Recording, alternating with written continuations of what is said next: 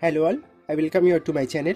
Today I'll show you how to install latest version of Python version 3.13.4. So just go to favorite browser and just simply type python. Download. Hit enter. So that will show you python.org so go to their official site. Here you will get python 3.13.4 available to download for windows. If you if you are using linux or mac you can always switch to that i'll click on download button for windows. Python is rightly started downloading and it is rightly downloaded. Just click on the installer. That will open python installation wizard.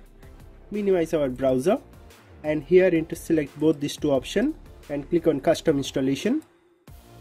Here under optional features you need to keep everything as default and click on next here under advanced options you need to select this install python 3.13 for all users and click on install.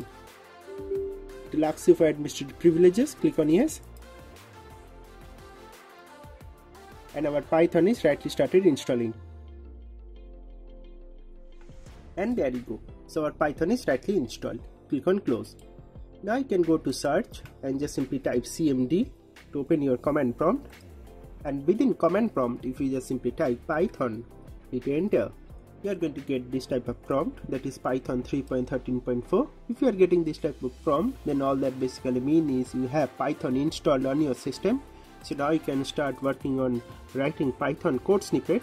So i'm going to print something on our console first. So i'm going to print hello world hit enter and you are going to get that output right on our console you can close this and you can open python idle shell as well.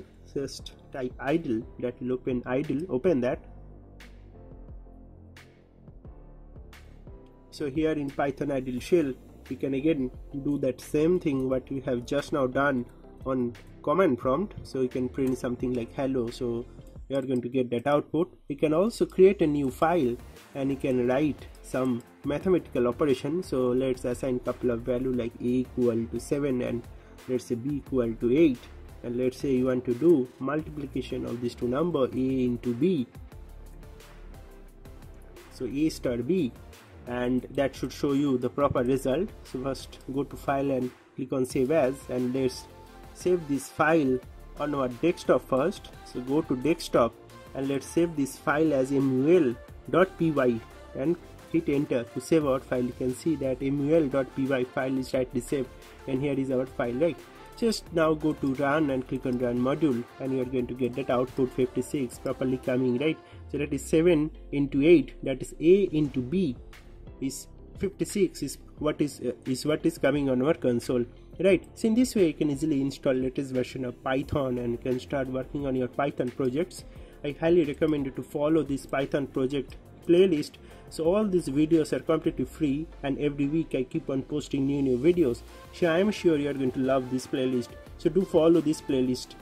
And entire source code and everything is also available for completely free so do check out our video description links for more such tutorials. So that's basically all about this video friends. Thank you very much for watching this video and god bless you all